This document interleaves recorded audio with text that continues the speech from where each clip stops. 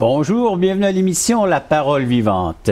Bonjour, Pasteur Jeff. Pasteur Régent, bonjour. Les rencontres, c'est assez intéressant de voir toutes ces rencontres qu'on a dans l'Évangile selon Jean avec Jésus. Une rencontre personnelle, toi aussi, Jeff? Oui, oui, il y a quelques années déjà. Et on va voir aussi dans le nouveau thème d'aujourd'hui que ça n'a pas besoin toujours d'être des rencontres dramatiques. C'est dans le sens de, de, de grands déploiements. Pasteur Roland? Bonjour, Bonjour. Régent, Pasteur Jeff. Euh, ce qui m'interpelle toujours dans, dans cette relation avec Jésus, c'est qu'il y a toujours un témoin, il y a toujours quelqu'un entre nous. Et si on demandait à quelqu'un dans l'Église, levez, la main- levez la main ceux qui ont connu l'Évangile Mm. par un témoin, un disciple, et tout le monde lève la main. Il y a toujours quelqu'un qui m'a parlé de l'Évangile. Ici, c'est Jean-Baptiste qui va euh, parler à ses disciples en, en pointant Jésus-Christ. Et c'est la vie encore aujourd'hui. Chers téléspectateurs, avez-vous cru? Êtes-vous devenu un véritable témoin de l'Évangile? Qu'est-ce qu'un véritable témoin? C'est le thème que nous aborderons aujourd'hui à l'émission La Parole vivante.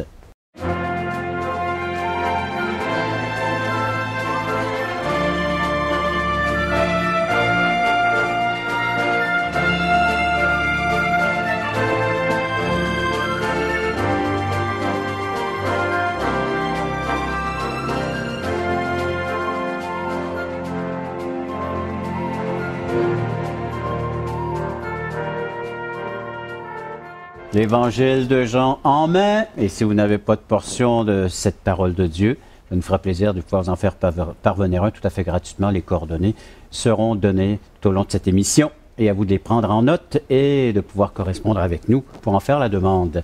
L'Évangile de Jean, chapitre 1er, c'est ce qu'on regarde ensemble. Et nous sommes rendus à la rencontre des premiers disciples que nous retrouvons au verset 35 les disciples de Jean le Baptiste. Alors le lendemain, Jean est encore là avec deux de ses disciples et ayant regardé Jésus qui passait, il dit, Voici l'agneau de Dieu. Les deux disciples entendirent prononcer ces paroles et ils suivirent Jésus. Jésus se retourna et voyant qu'ils le suivaient, leur dit, Que cherchez-vous?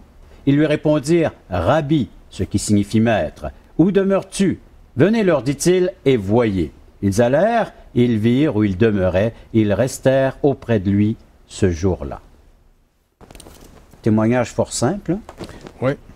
Et ça nous enlève, en tout cas, euh, justement, ce- le, le- le- le type de témoignage où il y a beaucoup de résistance et soudainement, euh, la personne craque Hmm. devant le Seigneur à cause de trop de fardeau. On a ici des, des- deux hommes Oui. qui sont des disciples de Jean le Baptiste? On va les reconnaître plus tard parce que un est André, donc le frère de Simon-Pierre. Et c'est Jean-Baptiste, un peu comme tu le disais, Jean-Baptiste va être celui qui pointe vers Jésus. Voilà l'agneau de Dieu. Alors lui, eux autres vont... C'est comme si dans les disciples de Jean-Baptiste, on voit des gens qui regardent Jean-Baptiste, même s'il dit c'est l'agneau de Dieu, je vous pointe Jésus. Oui, oui, Jean-Baptiste, oui, oui, Jean-Baptiste. Mais ils continuent à regarder Jean-Baptiste pareil. Et quand Jean-Baptiste dit voilà l'agneau de Dieu, ceux qui écoutaient véritablement Jean-Baptiste ont vu finalement qu'il pointait vers Jésus qui s'en allait. Et ils ont quitté Jean pour partir avec Un Jésus. nouveau centre d'attraction. Exactement. Mais on voit que dans les disciples de Jean, certains entendent, d'autres font juste écouter. tu sais, ça, on dirait que- Comme dans toutes les classes. hein? Ouais. Et en même temps, c'est que Jean, en disant cela, en pointant vers Jésus-Christ, les disciples doivent se détacher de Jean et s'attacher à Jésus. Parce que Jean rappelle que Jésus, il dit, puis même André va voir son frère Simon, il va dire, nous avons découvert, nous avons trouvé Hmm. le Messie, celui qui devait venir. Donc c'est extrêmement important que, que Jean-Baptiste, dans, son, dans sa façon d'être, dans cette révélation qu'il a reçue, il n'a pas gardé ce message pour lui-même, il l'a donné et il a pointé ou, Mhm. ses propres disciples vers Jésus. Donc, ce détachement. C'est pas facile hein, aujourd'hui de pouvoir faire la même chose, de pointer une autre personne lorsque les regards sont tous vers nous. Ben, c'est là qu'on doit voir vraiment l'humilité que Le Jean-Baptiste véritable avait. disciple. C'est un authentique témoin. C'est pas quelqu'un qui s'accapare finalement cette gloire. Il reste un, un fidèle euh, serviteur d'une cause. Il n'est pas la cause. Il grossit pas son ombre. Il pointe vraiment vers le sauveur. Puis je pense qu'il y a une application assez fantastique qu'on Oui. pourra faire tout à l'heure par rapport à- au type de foi. Je pourrais même le dire dans la forme de maturité. Au début, ici, les disciples dépendent du témoignage de quelqu'un qui voit plus clair qu'eux, Jean-Baptiste. Un- celui qui précède, Oui. Celui qui connaît en Mm. partie. Et les deux disciples vont finalement écouter Jean-Baptiste et être introduits par Jean-Baptiste à Jésus. Fait que là, on voit vraiment ici une foi qui dépend d'un témoin qui est à côté de moi pour me pointer. Et ça, c'est normal Oui. dans le premier temps de notre un vie commencement chrétienne. à tout, Il y a hein? un commencement, et c'est pour ça que, même que ce soit par les émissions de télévision, Oui. que ce soit par la prédication à l'Église, que ce soit le témoignage dans les rues, on envoie des disciples, on envoie des témoins Qui vont annoncés. pointer vers Jésus. C'est ça. C'est pour ça qu'on ne parle pas de religion, on ne parle Mhm. pas d'institution, on parle d'une personne. On envoie les gens vers Jésus. On dit Jésus, c'est le Fils de Dieu, Mhm. c'est le Messie, celui qui devait venir. Ça, c'est extrêmement. C'est le message. C'est Jésus. Regardez, c'est là que ça se passe. Puis, les, euh, ce qui est intéressant, c'est que lorsque Jean-Baptiste envoie ses deux disciples vers Jésus, Jésus est là, il dit Que cherchez-vous? Oui. Tout simplement. Et Jésus a dit toujours ça. Il parle au cœur, il dit Que cherchez-vous? Pourquoi vous venez vers moi? Pourquoi? Et les disciples, d'une certaine façon, ils veulent s'associer à lui, ils veulent vivre là où il vit, comme un disciple qui, qui approche d'un maître, il demande au maître Est-ce que tu veux me prendre comme disciple? Hmm. Mais Jésus est en train de dire Que cherchez-vous La question est beaucoup plus profonde que seulement euh, Qui cherchez-vous? Que, Oui. que cherchez-vous profondément et, et les Quel est disciples- votre besoin? et les disciples, c'était de reconnaître et, et de- d'entrer dans cette relation avec le maître. Qu'est-ce qui vous Rabbi. motive Ouais. à Et venir je suis vers sûr qu'ils ne Hein? comprennent pas tout ce qu'ils cherchent non plus. Non. Parce que d'abord, Jean-Baptiste, on a vu euh, que Jean-Baptiste lui-même voit que c'est l'agneau de Dieu, mais il y avait une définition dans sa tête de l'agneau de Dieu et de son euh, de la manière qu'il était pour opérer les choses. Et donc, eux partent à partir de la révélation de Jean. Et il y en a encore peut-être une moins claire, mais ils savent que leur maître leur a dit, c'est lui l'agneau. Ils Je vous ai ont toujours cru. dit que c'était pas Ouais. moi, c'est lui, suivez-le. Ils le suivent et ils sont dans l'interrogation. Ben écoute, on va voir ce que Mais tu demandes. je peux dire, Jeff, que toute leur vie, Jésus, Jésus a dû corriger, corriger, corriger, Ouais. redresser leur compréhension. Parce Un bon a- enseignant ils patient. avaient, ils avaient la compréhension un peu plus de Ouais. Jean-Baptiste. Alors donc, euh, on vient de voir qu'un véritable disciple, c'est celui qui pointe vers la personne concernée, vers le Christ, ce que Jean le Baptiste a fait, et ce que les disciples vont faire aussi à leur tour, ils vont pointer vers le Christ. Quelle est la motivation? On aimerait vous entendre. Alors écrivez-nous, parlez-nous, quelle est la motivation? Que cherchez-vous? en la personne de Christ ou en écoutant ses émissions? 1-877 l'Espoir, 1-877-537-7647 ou via nos sites, soit espoir.ca ou toutchrétien.com. Et on revient avec la suite de Qu'est-ce qu'un vrai disciple de Jésus-Christ? Beaucoup de gens qui ne sont pas dans les églises aujourd'hui sont obligés d'admettre que leur foi était au niveau très enfantine.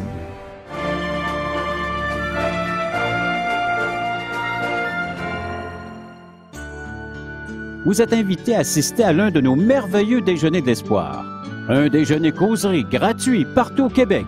Vous pourrez y entendre le témoignage de vie transformée par l'amour de Dieu. Pour connaître et savoir où ont lieu ces déjeuners, appelez-nous maintenant en composant le 1877 l'Espoir. 1877 537 7647. Ces déjeuners sont offerts gratuitement.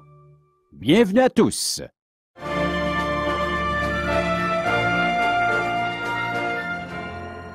Avez-vous vu une rencontre, euh, avez-vous eu une rencontre personnelle avec Christ? Comme on va le voir, c'est deux personnes, deux disciples de Jean qui sont allés vers Jésus-Christ, qui l'ont rencontré de façon personnelle. Et l'histoire se poursuit au verset 39. Venez, leur dit-il, et voyez, ils allèrent et ils virent où ils demeuraient, et ils restèrent auprès de lui ce jour-là. Il parle de Jésus. C'était environ la dixième heure. Et verset 40, toujours du chapitre 1, André, frère de Simon-Pierre, était l'un des deux qui avait entendu les paroles de Jean et qui avait suivi Jésus. Ce fut lui qui rencontra le premier, son frère Simon, et lui dit, Nous avons trouvé le Messie, ce qui signifie Christ, et le conduisit vers Jésus. Jésus, l'ayant regardé, dit, Tu es Simon, fils de Jonas, tu seras appelé Céphas, ce qui signifie Pierre. Et le lendemain, Jésus voulut se rendre en Galilée, il rencontra Philippe, et lui dit, Suis-moi. Et on pourrait suivre, ainsi de suite, mais on voit que les hommes se mettent à suivre Jésus. Ouais, par le témoignage de d'abord Jean-Baptiste et donc André va aller rencontrer son frère. Il y a une séquence. Ouais. Hein, Jean-Baptiste qui reçoit la révélation, qui pointe vers Jésus-Christ. Jean-Baptiste qui pointe comme témoin euh, André vers Jésus-Christ. Mhm. André qui va dans sa famille, le grand frère qui est Pierre, qui est Simon, Pierre. Lui pointe Jésus-Christ. Oui. Et, et, euh, André amène son frère à Jésus-Christ. Ouais. Et c'est incroyable. C'est encore une fois, c'est comment Dieu travaille à travers les relations. Dieu travaille à travers nos relations. Dieu ne vient pas d'une façon euh, abstraite, mais il vient tout simplement dans nos Et connaissances, dans même, nos il relations. précise l'heure de la rencontre. Oui, il y a un temps. Il y a un temps.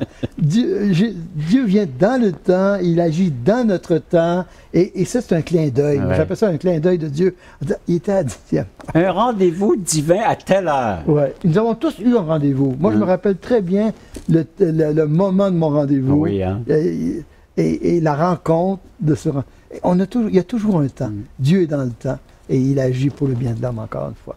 Montrer aussi que Jean euh, est, est quand même précis puis conscient à qui il écrit, toujours en passant sous l'inspiration du Saint-Esprit, Mm. mais on voit que l'inspiration du Saint-Esprit ne déconnecte pas l'homme. L'homme, au contraire, va continuer à s'adresser consciemment. Jean, ici, l'évangéliste, écrit consciemment et on voit qu'il n'écrit pas à des Juifs. Donc, il n'est plus en Israël lorsqu'il écrit. Il est rendu vieux. Il a vécu, il a marché avec le Seigneur et il nous rappelle cette histoire et il donne des détails.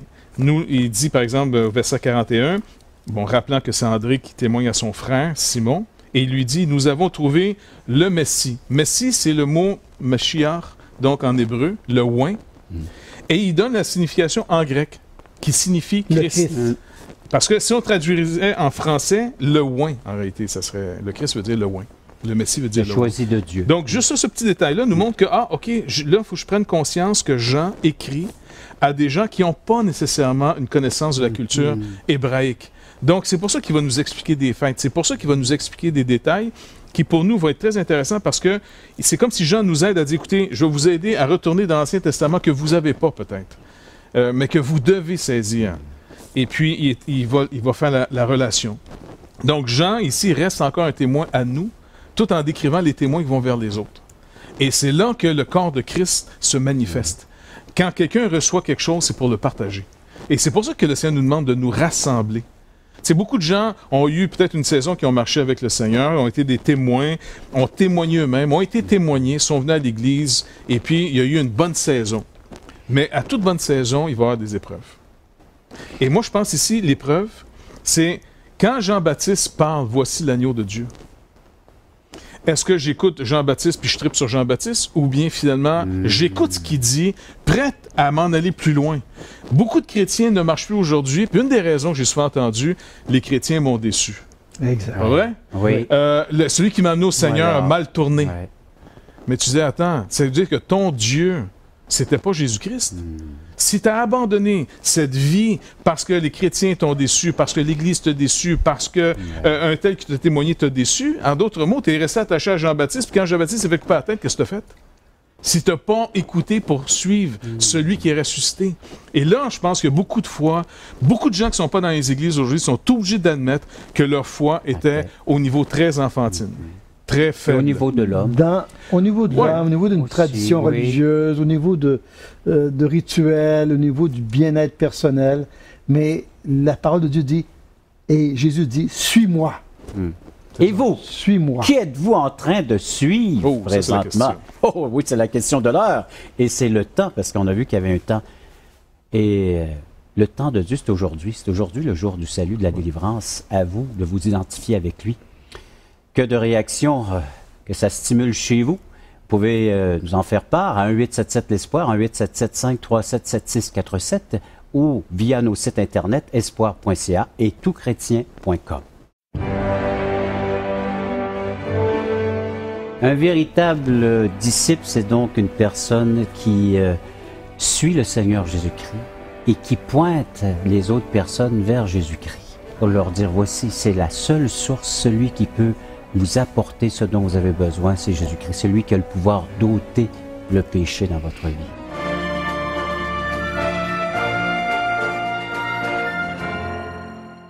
Nous vous invitons à nous contacter pour recevoir gratuitement de la littérature. vous recevrez le Nouveau Testament, une portion des Écritures relatant la vie de Jésus, ainsi que l'Évangile de Jean qui parle de comment connaître Jésus et sa merveilleuse promesse.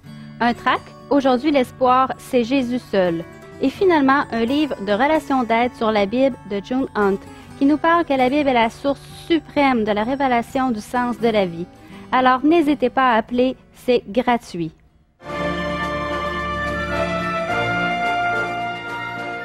L'évangile de Jean, c'est de rencontre en rencontre. Donc, après Jean le Baptiste, ensuite André, Simon-Pierre.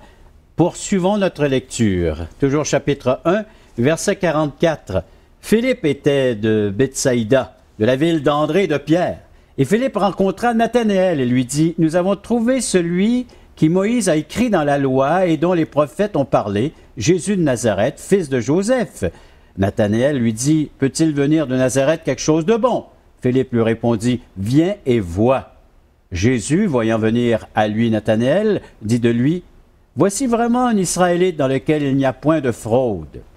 D'où me connais-tu? lui dit Nathanaël. Jésus lui répondit, Avant que Philippe t'appelât, quand tu étais sous le figuier, je t'ai vu. Nathanaël répondit et lui dit, Rabbi, tu es le Fils de Dieu, tu es le roi d'Israël. Jésus lui répondit, Parce que je t'ai dit que je t'ai vu sous le figuier, tu crois? Tu verras de plus grandes choses que celles-ci. Il lui dit, En vérité, en vérité, vous verrez désormais le ciel ouvert, les anges de Dieu monter et descendre sur le Fils de l'homme. Voilà d'autres disciples qui se joignent à suivre Jésus. Et c'est intéressant de voir comment ce Philippe est devenu un des disciples. Et c'était juste le verset avant qui dit euh, le lendemain, parce Mhm. que après que Céphas ou Pierre, Pierre, reçoit son nouveau titre là, de Pierre, oui, Simon-Pierre, euh, il dit le lendemain, Jésus voulut se rendre en Galilée et il rencontra Mhm. Philippe et lui dit Suis-moi. Là, lui, là, c'est vraiment comme euh, une exception Une quasiment à la rencontre. règle. Une rencontre encore. et il l'attache à lui. Et encore une fois, ça n'empêche pas qu'il va aller chercher Nathanaël. voilà. Et il dit, bon, puis Nathanaël est quand même un gars qui semble être assez sincère. Oui. Euh, il, il se- en tout cas, il se bat pas les pieds d'un fleur du tapis, comme on dit. il semble pas croire que quelque chose de bon peut sortir de Nazareth. Disant, Écoute, tu m'aurais dit de Jérusalem, peut-être. Bon, Mais Bethléem. Bethléem. OK. Nazareth. Nazareth. Nazareth, c'est- comme, attends, Nazareth, c'est c'est où ça dans la Bible, Nazareth? c'est Euh, le quartier sombre. Oui, oui, c'est pas grand-chose. Mais on voit ici quand même des gens... Non, c'est vrai. En plus, c'est dans le côté où est-ce que les Juifs sont pas trop orthodoxes parce que, bon, ils font leur religion, mais il y a beaucoup de païens. Et puis, tu sais, je veux dire, on, on fait ça rond. un peu, Il avait tu une mauvaise réputation, là. hein? Oui, il y avait une mauvaise réputation. Et donc, finalement, on- mais on voit ici quand même des gens qui, malgré leurs conditions de vie, y ils ont toute une chose en, en commun. Ils ne résistent pas, dans le sens qu'ils ont des doutes, ils savent pas, mais ils ne résistent pas. Ils vont donner une chance au coureur, en d'autres Ouais. mots. Et c'est ça que le Seigneur veut au moins attendre de nous. Quelqu'un vous témoigne. Si tu dis non, je veux rien savoir, mais il y a plusieurs raisons pourquoi on veut rien savoir. Souvent parce que si on approche le Seigneur, on sait qu'on va être obligé, nos vies vont changer. On ne pourra pas Oui. vivre comme Puis- si de rien n'était. Puis là. parfois, on aime bien nos vies. Ouais. On veut rester dans ce que nous connaissons. Mais il doit y avoir ici cet attachement au Seigneur. Si on ne découvre pas ce qu'il a pour nous, on ne pourra pas quitter ce qui nous retient d'aller vers lui. Vrai? Parce que c'est souvent ce qu'on pense avoir et qu'on pense qu'on devra quitter qui nous empêche justement d'aller avec le. Il n'est pas facile de couper les racines.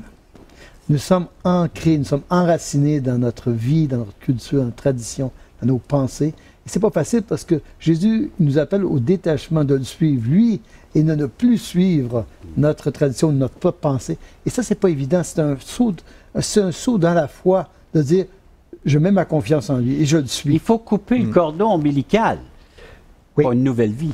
Oui.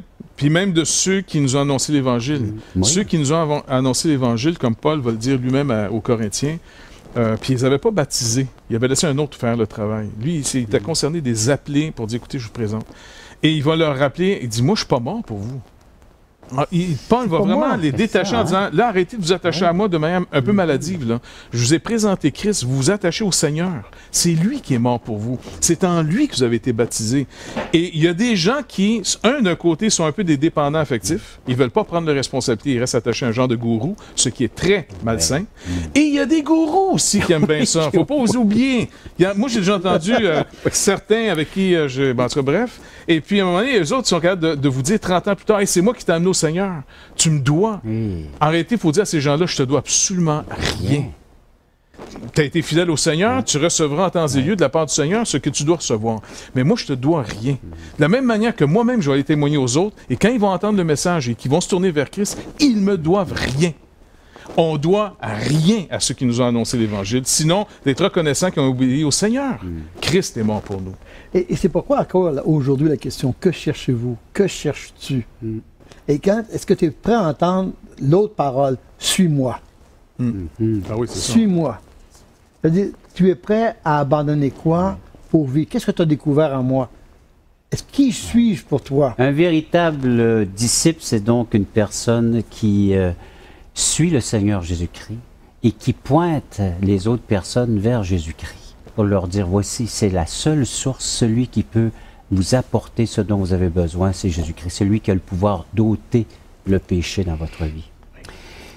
Les questions, des commentaires, vous nous en faites part en 877 l'Espoir, en 8775 377647 ou visitez nos sites espoir.ca et toutchrétien.com et on vous revient avec la conclusion de l'émission.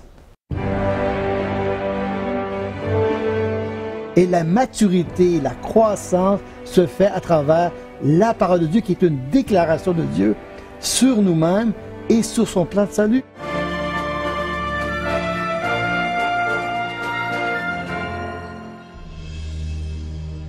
Et euh, je pense que tout chrétien.tv va être euh, une ouverture, un outil qui va nous dépasser.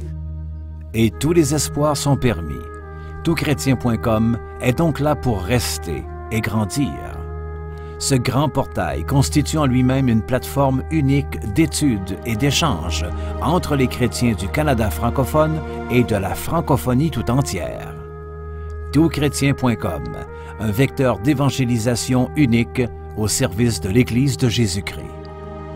Pour les gens qui ont envie euh, de vivre une relation avec Jésus-Christ, je crois que là, ils vont trouver quelque chose qui euh, ressemble à leur temps et qui répond à des besoins de tous les membres de leur famille.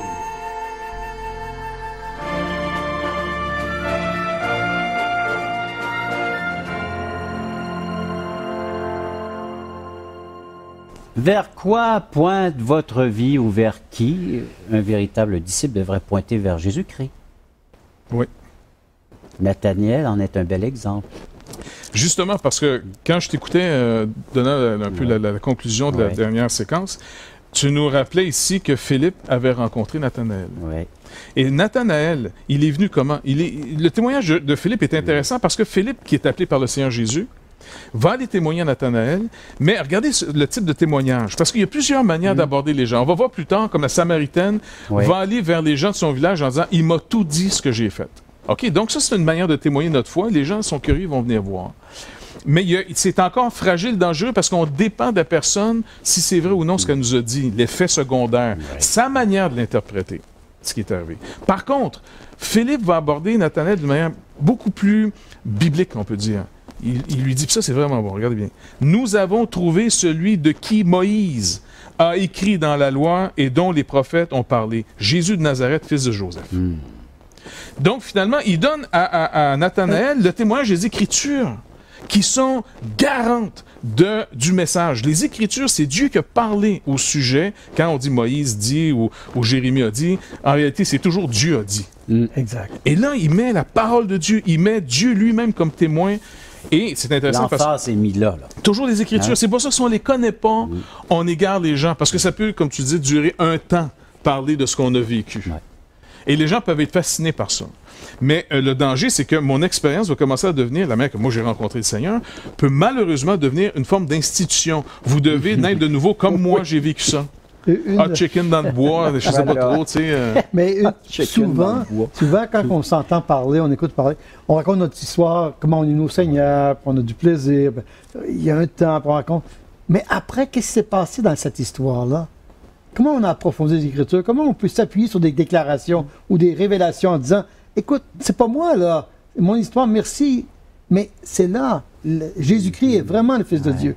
C'est seulement celui qui vient. Et c'est seulement par lui que nous pouvons euh, espérer à la vie éternelle et, et vivre cette vie pour lui aujourd'hui. Et les gens disent Oui, mais non, tu, tu, tu recentres le message sur la parole de Dieu.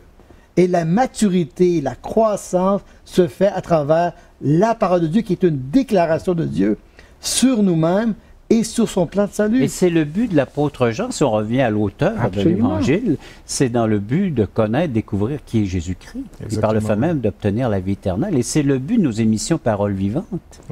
Parce que si on veut savoir justement cette vérité, il ne faut, pas- il faut pas chercher partout. Les gens, les gens sont friands de, de mystères. de- Mais la parole de Dieu dit, elle a été écrite justement pour que vous sachiez, que vous connaissez la vérité. Bon. À partir de ça, c'est j'ai un, il y a un mouvement. Un mouvement, c'est simple. Moi, je, je le vois. Les disciples, par un témoignage de vie, disent Jésus. Et Jésus dit Hey, écoute là, que cherches-tu vraiment? Pourquoi tu viens à moi? Quel est ton besoin? Pourquoi tu viens à moi? Qu'est-ce que tu veux savoir? Qu'est-ce que tu cherches? Et là, il faut répondre. Après, Jésus va dire Si ton cœur est, est bien à la bonne place, il va dire Suis-moi. Suis-moi, ça veut dire quoi? Ça veut dire Je suis prêt à te faire confiance pour ma vie. Je suis prêt pour mon avenir. Je suis prêt à te faire confiance quand tu vas m'instruire, quand tu vas m'appeler au changement, à, à Et je dois renoncer à certaines choses si je veux faire la place au nouveau maître, au nouveau Seigneur de ma vie. En le Exact. connaissant. Ouais. Parce qu'en le connaissant, on va découvrir ce qu'il nous donne. Tout ce qu'il veut nous donner va remplacer ce qu'on doit abandonner. On doit connaître d'abord ce qu'il veut nous donner pour être prêt à abandonner ce qui nous retient. Une- moi, une image simple, Oui, rapide. oui. C'est tout simplement, des fois, on veut tenir les mains comme ça. Notre monde avant, le monde futur, avec en Jésus-Christ. Ça marche pas. Pas On est, compatible. on hein. est écartelé et Ouais. on est brisé. Bien, donc euh, l'évangile de Jean, si vous voulez baser votre vie, votre existence et votre éternité sur la personne de Jésus-Christ, c'est faisable aujourd'hui. À vous d'avoir cette rencontre, ce temps choisi de Dieu, c'est le temps de choisir pour vous maintenant. Merci encore une fois de votre participation. Merci, Merci, d'avoir été à l'écoute de cette émission. Rejoignez-nous par euh, téléphone ou via Internet. Merci d'avoir été à l'écoute de l'émission de la parole vivante.